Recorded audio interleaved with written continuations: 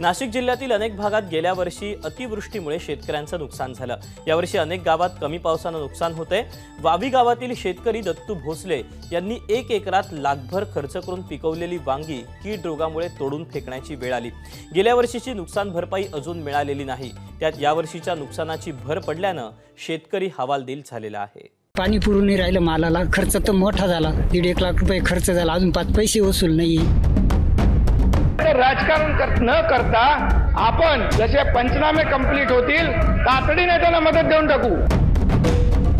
आणि मागच्या वर्षी ओला दुष्काळ पडला त्याचे पंचनामे केले त्याचे सुद्धा काहीच भेटले नाही आम्हाला. नाशिक जिल्ह्याच्या काही भागामध्ये पावसाला सुरुवात झालेली आहे. रिमझिम पाऊस तर काही ठिकाणी संततधार सुरू आहे. त्यामुळे काही शेतकऱ्यांनी हिंमत केलेली होती. थोडा सुरुवातीला जो पाऊस आला त्या पावसामध्ये शेती पिकं घेतलेली होती. परंतु आता ही पिकं खराब होण्याच्या मार्गावर आहे त्यांना रोगराई पसरण्याची आता दाट भीती ही व्यक्त केली जाते. हे दत्तू भोसले शेतकरी आहेत. दादा पाऊस नाही आहे असं म्हटलं जात आहे सगळीकडे. आणि तुम्ही का लागवड केली होती? असं वाटत होतं आपल्याला का होईन बा पाऊस. त्याच्यामुळं आपण एवढी डेअरिंग केली पण मग पाऊस बिऊस काही झालं नाही. पाणी पुरून नाही राहिलं मालाला. खर्च तर मोठा झाला. दीड एक लाख रुपये खर्च झाला. अजून पाच पैसे वसूल नाही आणि मागच्या वर्षी ओला दुष्काळ पडला. त्याचे पंचनामे केले त्याचे सुद्धा काहीच भेटले नाही आम्हाला. तेव्हा सरकारनं याची दखल घ्यावं असं आम्हाला वाटतं. शेत तर तुमचं हिरवं दिसतंय मग हे पाणी आलं कुठून? पाणी आहे ना बोरिंगला थोडं थोडं पाच दहा मिनिटं चालू करतो पण ते पुरत नाही. मग आम्ही तर खर्च करून बसलो पण हे रोगराई आवरानं काही होईना. सरकार याची दखल घेत नाही काही. हे कीड किडे माकुडे आळे मग करे याच्यावर. मूळ मुद्दा म्हणजे पाणीच पुरत नाही त्याच्यामुळे रोगराई जास्त येऊ राहिली त्याला. किती खर्च केला होता? क्षेत्र किती खर्च? किती झाला? क्षेत्र जवळजवळ एक एक करे सुरुवातीपासून आतापर्यंत दीड लाख खर्च झाला. अजून एक एक वांग सुद्धा मार्केटला पाठवेल नाही आम्ही अजून. पण अं, काही वांगी तर आपल्याला तयार दिसत ते का नाही गेले तयार दिसते पण त्याला आळाही ना घेते नाही व्यापारी घेत नाही त्याला. मग ते तोडून फेकून द्यावं लागत त्या साईडला आम्हाला. आणि मागच्या वर्षीचं पंचनाम्याचं काय झालं? मागच्या वर्षी सगळे पंचनामे केले पण अजून काहीच आलं नाही आपल्याला. काय होतं? पीक काय होतं? पीक होतं आपले भेंडी होती गवार होती भोपळा होता परत मका होत्या सोयाबीन होत्या. सगळे पाण्यातच गेले.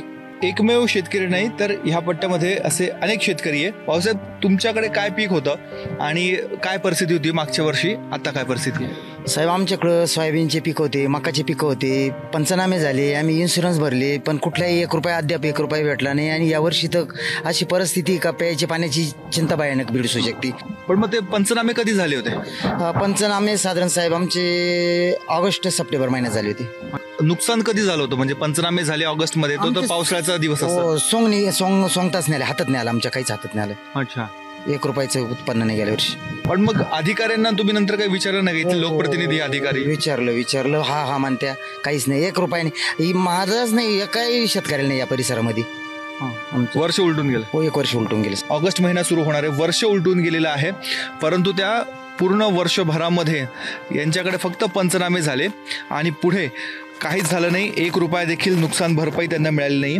आता जे शेतकरी सांगत होते की हे वांग आता खरं तर बाजारामध्ये जायला अपेक्षित होतं.